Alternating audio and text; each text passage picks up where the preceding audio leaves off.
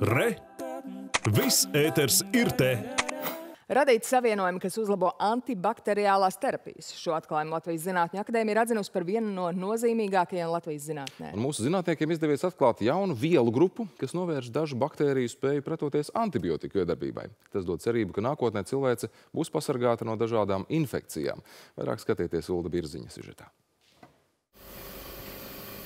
Ir daudzas un dažādas slimības, kuru ārstēšanai tiek izmantotas antibiotikas. Tomēr mēdz gadīties, ka ārstējot tādas akūtas infekcijas slimības kā sepsi, pneimonija vai urīna ceļa iekaisuma, ierastie medikamenti vairs nepalīdz. Pēdējā laikā ārstiem sāk pietrūkt antibiotiku, jo baktērijas ir izstrādājušas rezistenci pret šīm antibiotikām. Līdz ar to tas mērķis šī brīža svarīgākais uzstādījums ir nevis jaunu antibiotiku radīšana, lai cīnītos pret baktērijām, bet jaunu zāļvielu radīšanu, lai cīnītos pret rezistenci.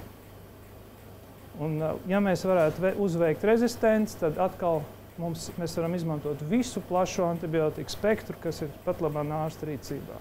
Saskaņā ar Pasaules veselības organizācijas datiem 2050. gadā pasaulē varētu būt pat līdz 50 miljoniem cilvēku nāves gadījumu no rezistento baktēriju izraisītām infekcijām antibiotiku trūkuma dēļ. Rezistence radās tad, kad baktērijas vairs nav uzņēmīgas pret antibiotikām, kad antibiotikas nespēja baktērijas iznīcināt.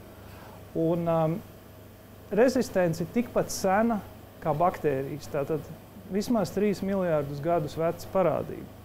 Jo ir uh, maldīgs uh, viedoklis, ka antibiotikas ir cilvēku radīts ķīmisks produkts. Tā nav taisnība.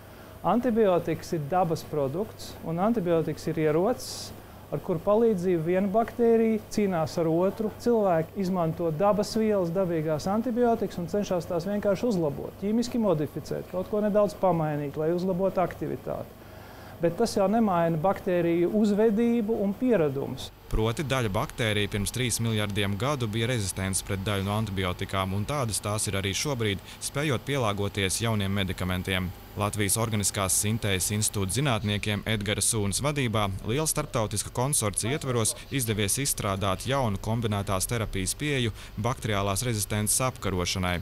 Viņi ir atraduši jaunu vielu grupu, kuru pievienojot zināmām antibiotikām, var novērst uh, dažu baktēriju spēju pretoties šo antibiotiku iedarbībai.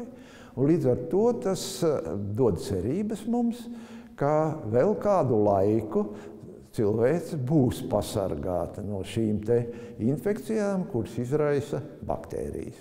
Tā mūsu zāļviela būtībā atrisina vienu ļoti svarīgu rezistences mehānismu, ko līdz šim mēs neesam spējuši kontrolēt. Bet tagad ar šo jauno zāļu vielu mēs varam arī šo pēdējo būtībā rezistences mehānismu, kas balstās uz antibiotiku sagraušanu, šo mēs tagad varam arī kontrolēt un no tā izvairīties. Jaunā zāļviela bloķē baktēriju radītos enzīmus, kas iepriekš sagrāva antibiotikas pirms tās cilvēka organismā uzsāka savu darbību.